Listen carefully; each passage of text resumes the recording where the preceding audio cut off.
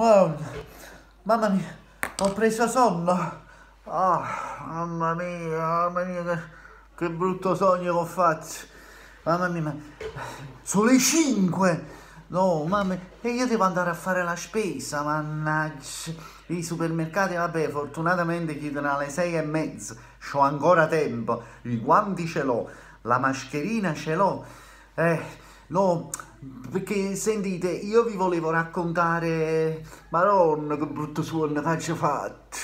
Ho sognato, ho sognato che niente di meno, noi tenevamo una specie di moneta, l'euro, l'euro, l'euro, l'euro.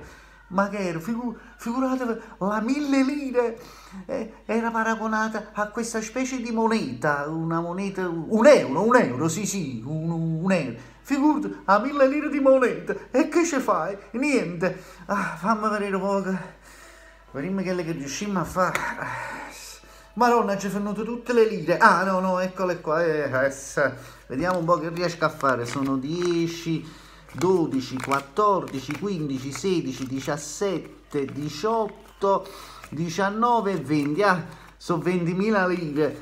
Riesco a fare una, una bella spesa. Pensa che me ne torno a casa con un carrello pieno di cose. Maronna, ragazzi, che incubo, che incubo! Avevo sognato che non ci stava più la lira, mamma mia, e ci stava questa moneta, questa moneta strana, monetine, monete, queste cose, una moneta di un euro, due everi, due everi, mi pare che erano, due everi, eve, e, eve, babbo, insomma, una moneta inutile. Noi teniamo le lire, meno male che teniamo le lire. Madonna che brutto suono che ci ha fatto. Era un incubo, veramente un incubo. Tutto in euro, si parlava in euro. Scusate, mi date un chilo di mele? Quando è? E io cacciavo la mille lire nella cosa. E quella nel sogno diceva, ma che è sta mille lire?